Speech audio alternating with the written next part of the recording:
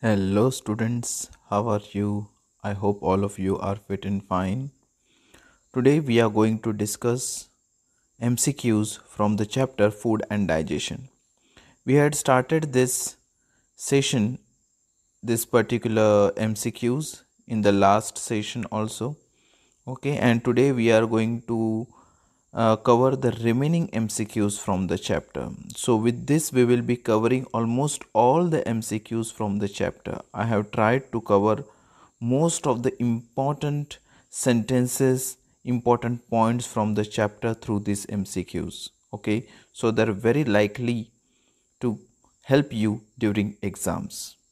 So, let us start with the first MCQ for today. Dash is the fiber present in our food. The options are proteins, carbohydrates, roughage, water. So, what is the correct option? What is another word for fiber which is present in our food? The answer is roughage. So, roughage is nothing but a fiber that is present in our food. Can you recall which all food items contain roughage? Yes, all the vegetables, and most of the fruits they contain fibers okay? Next question. Three fourth of our body weight is dash. The options are proteins fats roughage water. So what is the correct option? Three fourth of our body weight is water. So water is that thing which consists three fourth or which covers three fourth of our body weight. Okay so let us see next point.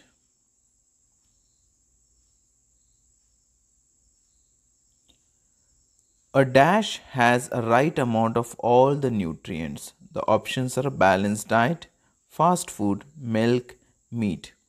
So which type of food or what uh, right amount of nutrients are present uh, in a specific food. Is it a specific food? The answer is balanced diet. So what do we mean by balanced diet? When there is right amount of the nutrients present in the food that is called as balanced diet. Okay students? So it is very necessary to have a food which has right amount of all the nutrients and that particular thing is called as balanced diet. Let us see fourth question. The process of breaking down of food into simpler form is called, the options are preservation, digestion, ingestion. So the answer is digestion. So the process by which we break down the food inside our body, that particular process is called as digestion. So B option is correct. Let us see fifth question. Dash is a digestive juice. Water, milk, saliva. So what is the correct option?